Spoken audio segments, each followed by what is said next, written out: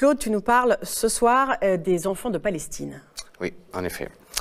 Les autorités israéliennes semblent être en guerre contre des enfants. Je répète, des enfants. Certains ont 12 ans, d'autres 15, 16 ou 17 ans. À bien des égards, à 15, 16 ou 17 ans, on est encore un enfant. Selon l'organisation humanitaire Defense for Children International Palestine, en 2017, 14 enfants palestiniens ont été tués par l'armée israélienne. Près de 300 croupissent en prison et 11 d'entre eux sont à l'isolement. En 2012, le quotidien britannique The Guardian a écrit que chaque année, entre 500 et 700 enfants palestiniens sont arrêtés et jugés par les autorités israéliennes.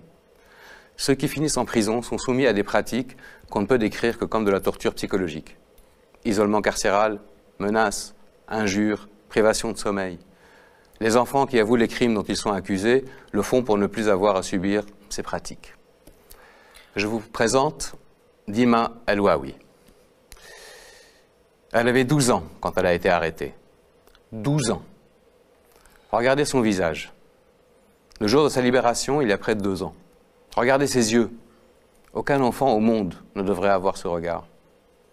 Malheureusement, la violence contre les enfants palestiniens ne s'arrête pas au traitement qu'ils subissent en prison.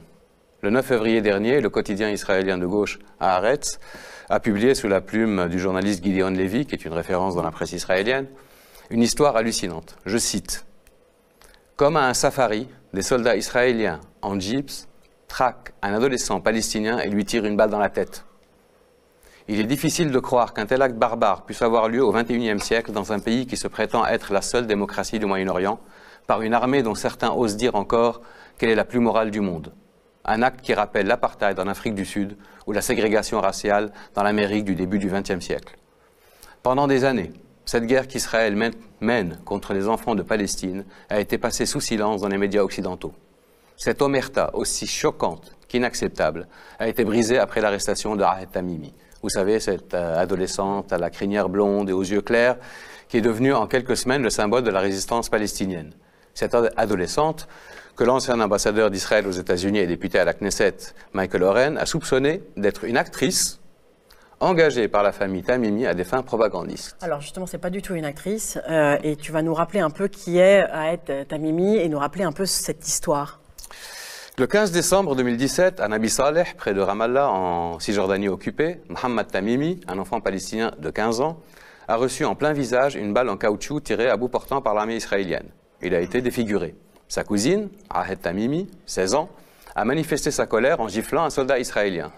Le 19 décembre, soit quatre jours après, l'adolescente a été sortie du lit en pleine nuit et arrêtée par une unité de Tsahal. Trois mois plus tard, elle n'a toujours pas été libérée. Et c'est en prison qu'elle a fêté ses 17 ans. Son procès devant un tribunal militaire s'est ouvert le 13 février et se déroulera en huis clos.